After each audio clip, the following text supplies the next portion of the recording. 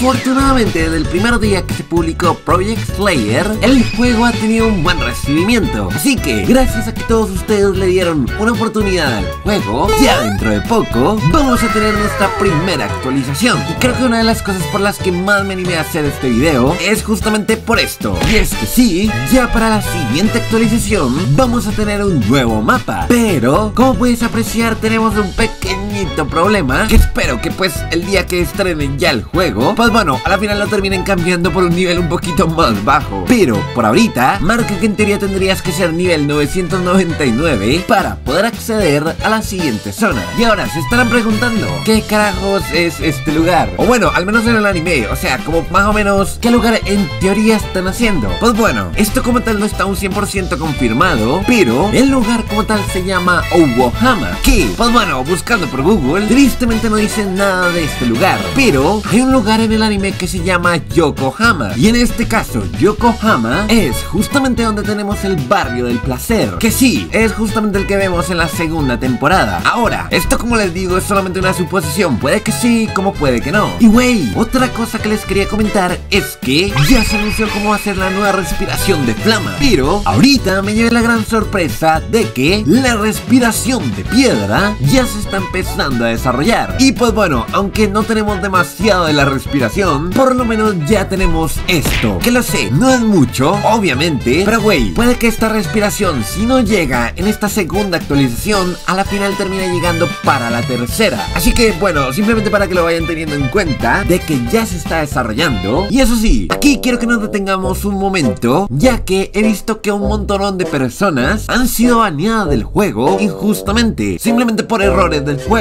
Y pues bueno, hay una forma en la que pueden quitarse ese ban. Y la forma de quitarse el ban es justamente yendo al link que les voy a dejar en el primer comentario fijado, que les va a dirigir a un grupo de Discord de los desarrolladores, donde tendrán que irse a la parte donde dice apelar para quitar el ban, solamente que en inglés, y una vez le hayan presionado el botón, se les habrá creado un ticket, y ya, dentro del ticket tendrán que poner toda la información que les ponen justamente acá.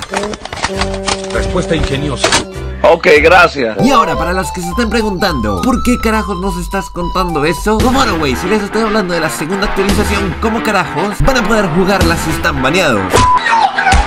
Así que bueno, con eso ya dicho, ahora sí vamos con la respiración de flama. Y bueno, ya para arrancar por acá, tengo que admitir que el trabajo que hicieron con la respiración de flama es simplemente increíble, ya que los efectos especiales que utilizaron para el juego simplemente están demasiado épicos. O sea, literalmente, esto tiene un diseño bastante único que hace que resalte en comparación a otros juegos de Kimetsu no Yaiba. Y bueno, con esta respiración contamos con 6 habilidades, que bueno, obviamente creo que la mejor de todas es esta, como no iba a hacerlo, viendo la habilidad más fuerte de la respiración, en este caso llamado el purgatorio. Y güey, creo que lo que más me encanta de la respiración es, bueno, aparte de los efectos que ya parezco enfermo repitiendo lo mismo, pero lo que más me gusta de la respiración es la velocidad. Es una respiración bastante rápida. Yo no sé tú, pero creo yo que uno de los que está peleando en esta oportunidad es un demonio. O a lo mejor no, pero tiene un dash de demonio. Así que creeré que es demonio. Sin embargo, hagamos una revisión de todas las habilidades, pues para ver un poquito mejor de qué trata cada una. Entonces, para arrancar tenemos el Rising Scorching, que es básicamente este ligero golpe circular hacia el frente. Como vuelvo y digo, cada habilidad es súper rápida, pero lo que me encanta de esta primera habilidad es que puede que sí, no sea la habilidad más fuerte de todas, pero es rápida y además tiene un buen rango, lo cual literalmente cada vez que la persona utilizaba la habilidad le daba el chance perfecto para arrancar un combo. Ahora, pasamos con la siguiente habilidad que es el Unknown Fire, que es básicamente como lo mismo que la primera habilidad, solamente que la habilidad se lanza de forma horizontal. Aunque no, ya que la estaba cagando, ya que sí, termina la habilidad de esa forma, pero hace un ligero recorrido antes de activar la habilidad. Así que no, en teoría sí, es un poquito mejor. Ahora, pasemos con la siguiente habilidad que es el Blooming Undulation, que hay que confesar, creo que es la habilidad más cutre de la respiración, ya que literalmente estamos hablando de un golpe giratorio, pero se queda bastante corto, ya que no cubre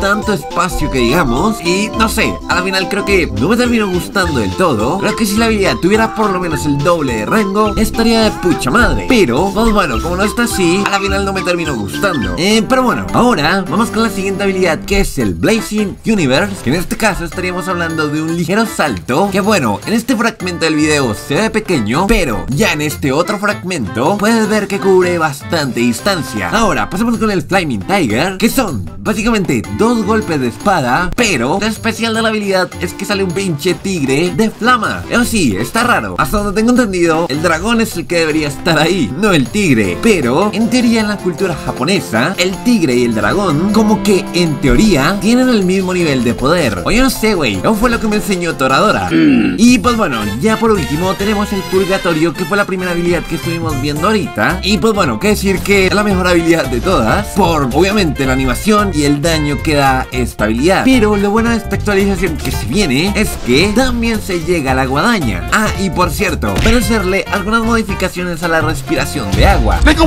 Pero bueno, ahora pasando con la guadaña, tengo que decirles que creo que esta no es la única nueva arma que se llega con la actualización. De hecho, sí, se me olvidó decirles, pero a lo largo de todo el showcase de la respiración de flama, podemos ver justamente la parte de abajo que en todo el rato esta persona al parecer estuvo utilizando una nueva espada. O sea, hasta donde tengo entendido, a día de hoy no he obtenido todos los ítems dentro del juego, pero estoy casi seguro de que esta es una nueva espada. Al igual que como en esta oportunidad sería la guadaña. La guadaña entraría a ser como una de las nuevas habilidades que vamos a tener, pero claro, para la clase demonio, que también, como les había dicho anteriormente en la respiración de flama, estoy casi seguro de que el otro güey era demonio. Y güey, estaba utilizando la respiración, ya que sí, dentro del anime, manga o lo que sea, hay un demonio que también utiliza esa misma respiración y pues también tiene su espada. Así que, lo más seguro es que es En esta oportunidad, al parecer, cualquier persona va a poder acceder a la respiración. Cosa que, pues bueno, está súper mamalona, que no tengamos esa ligera limitación. Y, ah, no mames, güey, se me acaba de ocurrir una super teoría que sí, güey, puede tener sentido. Se me pasó esto todo el rato. ¡Hola madre!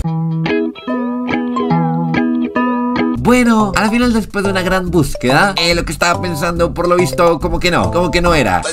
Además, creo yo que es que como ellos son los desarrolladores, es que pueden tener todo de una vez. O sea, sí, pueden ser demonio y además asesina demonio al mismo tiempo. Ya que sí, aunque al parecer él es demonio porque tiene a Musan justamente ahí abajo, de un momento a otro también el cuervo le manda un mensaje, cosa que solamente tienen los asesinos de demonio. Pero bueno, obviamente como en esta oportunidad estaríamos hablando de una espada, o bueno, no sé si la guadaña clasificaría como un tipo de espada, creo que no. Pero el caso es que como en esta oportunidad estamos hablando de una nueva arma y no una respiración, obviamente tenemos las habilidades ligeramente más limitadas. Y en esta oportunidad estaríamos hablando de solamente dos habilidades. Que para arrancar estaríamos hablando de un ligero salto hacia el frente, similar a la respiración de flama que estuvimos viendo ahorita. Y ya la segunda habilidad es como un ligero combo hacia el frente. Que pues bueno, si se sabe utilizar bien, pues los resultados van a ser simplemente increíbles. Eso sí, no sé por qué me encantó la pinche guadaña. Creo que las animaciones que tienen están bastante buenas y creo que es lo que más me encanta de esta arma. Eso sí, la pregunta del millón sería, ¿cuál creen ustedes que es el arte demoníaca que mejor encaja con esta guadaña? Y a lo que me refiero es, ¿cuál de las artes demoníacas creen ustedes que se va a complementar mejor con esta nueva arma? O sea, como que, ¿cuál de esas artes le va a sacar el mejor jugo al utilizar guadaña? No sé, güey, si, si no me entendieron,